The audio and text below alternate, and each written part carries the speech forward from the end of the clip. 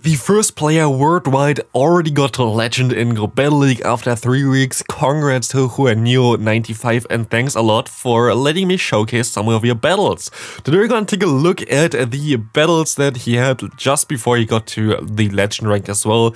And the most insane thing here as well is like you have a team that's pretty pretty easy to get. We're going to have a Charizard here. We of course need two Elite TMs if you didn't get any of the moves previously here with a Wing Attack, the Blast Burn, and yeah, like it's very very still achievable. Like you get Elite TMs anyway for free every season. And then we're going to have the Walrein, which just recently had a community day again, and a Pokemon that you just have to raid once that does need XL Candies with the Tapu Fini, which is insanely interesting. I haven't taken a look at single battle yet, so I'm curious on how good this is. If you enjoy the content, please leave a like, would really appreciate it. And of course, a link to his Twitter is in the description, so if you want to follow him, please do that. We're going to face here uh, Swampert with the Walrein. This is a pretty neutral matchup. Swampert really has to hit the Earthquake here to do, do any damage against you here. So you're actually in a pretty decent spot, and also your Tapu Fini in the back can still deal with it. What are you gonna do here? You're going to shield this move up, good bait by the opponent. Of course, you're going to play here against a lot of people who also know what they're doing, so if you find a team that the opponents play, for example, they're also going to be very good teams for the Open Ultra League because they're all in super high elo ranges right now. We're going to see that they are going to still get to an Earthquake. That's going to be a little bit awkward. You have to hope that Tapu Fini can sweep endgame and it's going to be a Mandibuzz in the bag. Goodbye opponent. We see a Weezing in the lead here. That's kind of neutral-ish. Of course, Earthquake is a very good move to hit against this Pokemon, but they can go ahead and go for Play Rough or the Overheat here. It's going to be a Brutal Swing actually, going for the bait. Also, who's going for the bait here? This player going for the Icicle Spear, getting the shield, which is amazing as we see most likely shield coming up here as well. Yeah, exactly. But it's actually a brutal swing bait again. Like a lot of baits coming up here. Giratina swapping into a Walrein is an interesting play here. They tried to catch the Earthquake, this didn't work out for them, and this is not a good matchup for the Giratina whatsoever. And you will be able to even take a move here, even if it's an Ancient Power, you still survive. Going to be a Dragon Claw, and you can go for another charge move to knock them out.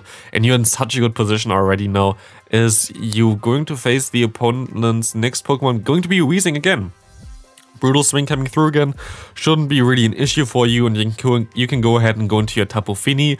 Interesting play to go into a Tapu Fini against a Poison type Pokemon, but uh, Weezing doesn't really have any good Poison type moves, so this is definitely a very decent matchup for you. Surf gonna come through, Surf gonna knock them out I thought, but no, they're actually going to shield it still, so they seem to be weak to Tapu Fini in the back. That's also the reason why you try to keep it around and you're going to shield a Brutal Swing, which is kinda Kind of unfortunate, but at least you can align your next Pokemon. It's going to be a Tapu Fini as well. This is going to be an awkward scenario for you.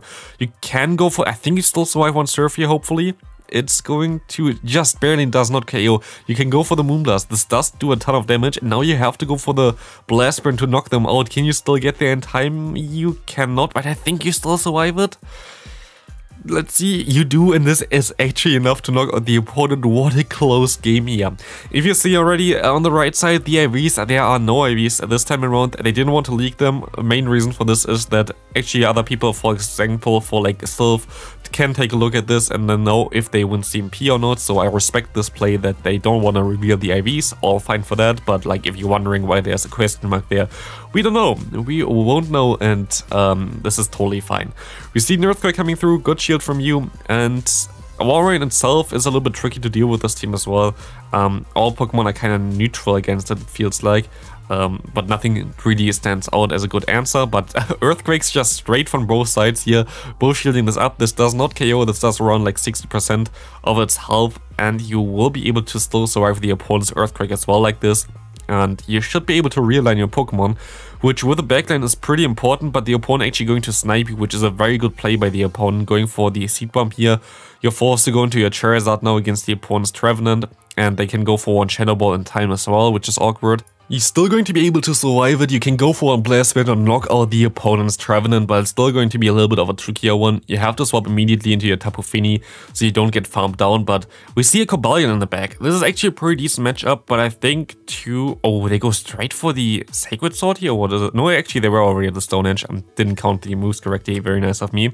But um, you're still going to be able to survive too, but it's going to still be a very close one.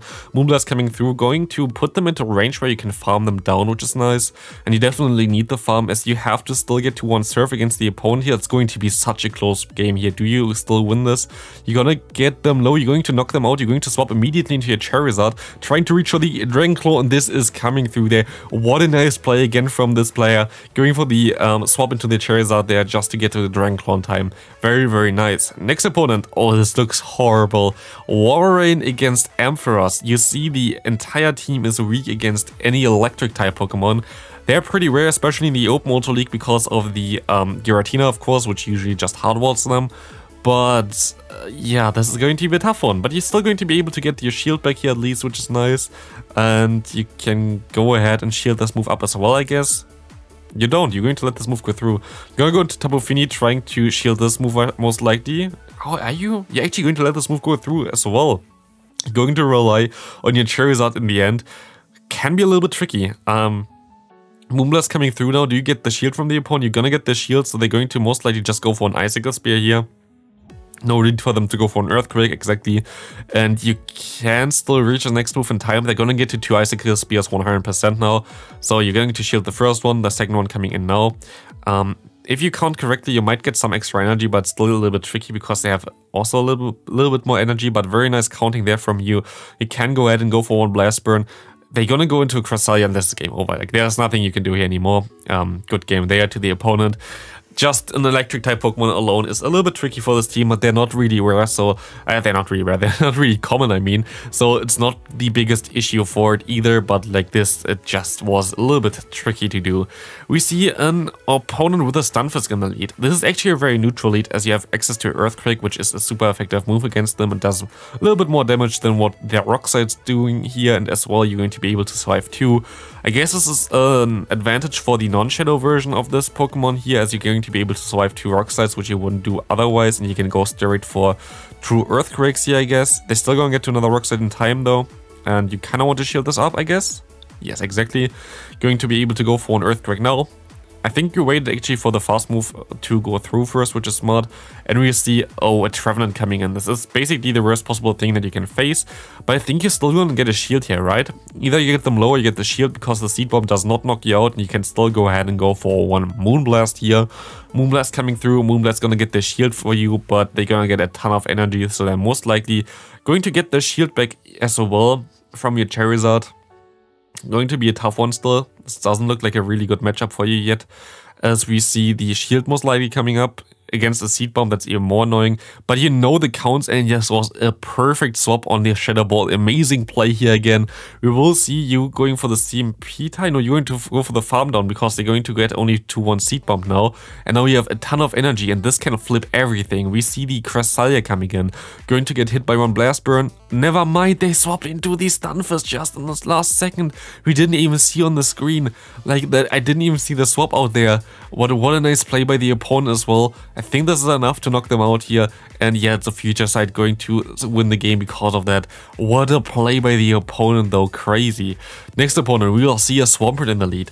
This is a little bit tricky, but um, Again, like Earthquake going to hurt you a lot, but you're going to get to the Icicle Spear a little bit faster. Two Icicle Spear is going to be enough to knock out the opponent, and we will see the Earthquake getting shielded. Very good shield by you. This will allow you to basically dominate this matchup now because they wasted so much energy. You can go for an Icicle Spear, get the shield back. They're going to get to another Earthquake here in time, though, which is a little bit tricky, but they you're going to shield this move up as well. They do not get to another Earthquake before you can farm them down, so um, this should be a pretty safe one to just get a 100 energy here against this matchup, which is cool. And you're going to go into your Tapu Fini, which is smart you both Pokemon in the back going to be able to resist Counter, which is the main um, threatening move there against your lead, which is really decent. You're actually going to go for the bait here because it doesn't really hurt you too much either. They're going to get the shield as well, which is amazing. And now you can go straight for one Moonblast and knock out the opponent's Scrafty, and it seems like they're weak to you in the back as well. And as you have 100 energy still on your Walrein, like even if they have something in the back where you have some issues against it, yeah, there's nothing they can do anymore. They have another Dragon in the back back Walrein, will just knock that thing out as well. We see another Swampert in the lead, we saw that matchup just now, let's see if the opponent baits are this time around or if he can actually shield two Earthquakes again. We see the Icicle Spear coming through, gonna do around half of its health again. And we see another shield most likely coming up. Earthquake coming up as well. So um, very decent for you. You basically farm as much as you can, which is really good. And we will see the shield coming up from the opponent. Overfarming again because you know you wouldn't win CMP tie there. And it's exactly the same matchup as you had before. As you will be able to now go for another Icicle Spear. This time around you don't farm them down because um, they didn't throw the Hydro Cannon I guess. And now you have a shield disadvantage, but a ton of energy, and you have your Walrein around, aligned against the opponent's Walrein, which is actually pretty decent because they still need at least like one earthquake and one icicle spear, I guess, a little bit more maybe even, um, to knock you out here, and you can still go for another earthquake. So now with that Walrein got basically one Pokemon completely out of this game and the next one with the opponent's Walrein um, to low health. So now you have two Pokemon basically for one final one, which is going to be a Charizard, which is hilarious. Actually, Charizard can win this matchup, I think, if you have a shield advantage, which is kind of funny because Blast you see already does a ton of damage. But um, like this, you're still going to be able to win this game for sure because you have your own Charizard in the back. Even this is a Blast Burn, which I don't think it is. No, it is actually, yeah. You're going to lose this matchup like that, but you have a ton of energy on your own Charizard now. The opponent has basically no half left, and this is going to be a clean one. Next opponent, very good lead for you. This team actually is a very good answer to the Pidgeot double fighting team, which is maybe the main reason also why that got built here, because both Pokemon in the back going to be able to destroy um, the fighting types, as also your lead going to be able to destroy the Pidgeot that usually is there. So definitely a team that should work out pretty well in every meta as well now. So I would really recommend you to try this team out as well. Of course, weak to electric types, but they're not really common. So we will see You're going to let this move go through. You have no um, shield advantage and you can get a ton of energy on your Walrein if you want to. And you're going to do this, but the opponent swaps out into their Cobalion. You can go for an Earthquake, which forces them to shield your move, I think. Do, does it? Yeah, it does force them. And now you're kind of forced to shield up as well because one Stone Edge would just knock you out, but you no shield the bait, which is amazing here. You're going to shield up this next move because it's most likely not a bait. Oh, it's actually also a bait, but like, wow, that's crazy to no shield there because one Stone Edge would have completely obliterated you and you will be able to now destroy the opponent's Cobalion. You know the entire team of the opponent. There's not a lot that this Pidgeot can do against this Charizard going straight for the Blast Burn, destroying that bird as you can swap out into your Rain, which is a very safe swap there. You can let this move go through, I think. Yeah, it's a Feather Dance as well. And now the opponent has basically no play. Pidgeot is going to do go down from this move. And we will see the Tapu Fini with 1 HP in the back coming in here. Going into the next game, we're going to see Greedent in the lead. This is a little bit tricky. Greedent is pretty bulky and Greedent has a fast move that's super effective.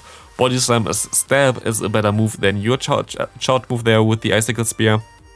So let's see what's going to happen here. We're going to see the Icicle Spear coming through, going to do some nice damage, but still Body Slam going to hurt a lot, and also they generate more energy than you. I think it's a matchup that Greedent usually wins, but you go straight for the Earthquake now. Let's see if they're going to shield this move up. They do not, and this puts them into range for one Icicle Spear. Maybe you're going to be able to actually knock them out here with your Walrein, but no, you are not. But this doesn't really matter. You get a ton of energy now with your Charizard, I would guess exactly. And Charizard with energy advantage, you don't know how strong this Pokemon can be. If you get energy advantage like this on a Charizard, this thing just goes to town. You have 50 energy basically now, and we see a Deoxys coming in. You can go for one Blast Burn. This does around half of its health. Blast Burn going goes through, and you can go for another one as well in time. As you're actually going to let them throw a move, most likely a Rock Slide. They actually go for Psycho Boost, that's weird. And you're going to go for your own charge move here. You could swap out as well into your Tapu Fini but not yet, I guess. You can still get another ch charge move off here with the Blast Burn. This will also not knock them out. And are you going to shield this move or do you let this go? You're actually going to shield this move. They have Thunderbolt, which is something I didn't expect, but I guess for all the Tapu Fini. I don't know if a Dragon Claw already would have been close to be enough here, but we see the Weezing coming in. And against Weezing, I don't know if you still survive this move here though. Brutal Swing should do a ton of damage, yeah, knocks you out, but it doesn't really matter too much because your Tapu Fini will be able to resist the moves, and I think they most likely had the um, move set there with overheat and the foul play, not foul play, a brutal swing there, so it was totally resisted by your Tapu Fini and they just forfeit. Going into the final match of this video, we're going to see another Walrein match up here against each other, one Shadow, one non-Shadow, and you will be able to go for the Earthquake in time. Going to try to knock them out straight away. And they're going to shield this move up as well. Do they do they bait you here? You might want to let this move go through. You're going to shield up. It's going to be an Earthquake. They actually never go for baits here in the matchup, but they're going to catch the move on the chair. That This still does a ton of damage though, which is kind of funny because it's resisted. You're going to get a ton of energy here as well. Trying to catch the move didn't work out, but you can now farm them all the way down with your Tapu Fini. I wonder if they can still get to two Blast Winds though. It might be enough for them. Let's see, but this might be just a Dragon Claw. No, it's a again, and you're going to be pretty low, but you have a ton of energy here, which is nice um, and see what's going to happen. We see a Giratina coming in. They definitely don't want to get hit by this Moonblast coming through. They're going to shield this move up, and they have Dragon Breath though, which is kind of awkward for you because they get a ton of energy now. But you can go for an Icicle Spear. Gonna do some nice damage, and I think you rely on your Charizard now. They should be able to go for one Dragon Claw, and you should be hopefully fine here. Dragon Claw gonna get shielded because of the potential Ancient Power, I guess. And this next Claw also going to get through. We're going to see the Walrein swapping in here. Going to be a tough one to still win. Let's see, you can go for a Dragon Claw here. You have to go for the Dragon Claw to knock them out. I think that was also CMP type very well played there by you, and I hope this one more Dragon Claw does knock them out. I don't think it does do enough, but you still have your Walrein in the back, so hopefully that thing can farm it down, and it can, and you win this game. Thanks so much for letting me showcase your battles. Um, leave a like if you haven't already, subscribe if you haven't already, and I'll see you later for the Kyurem review with Glaciate. Bye!